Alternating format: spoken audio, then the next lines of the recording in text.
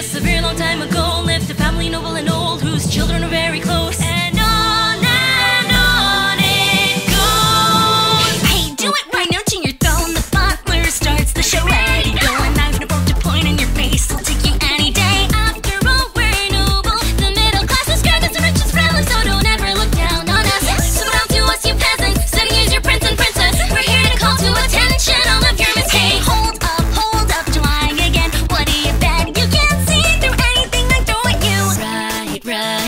right, I'll leave them under you since you want it so bad.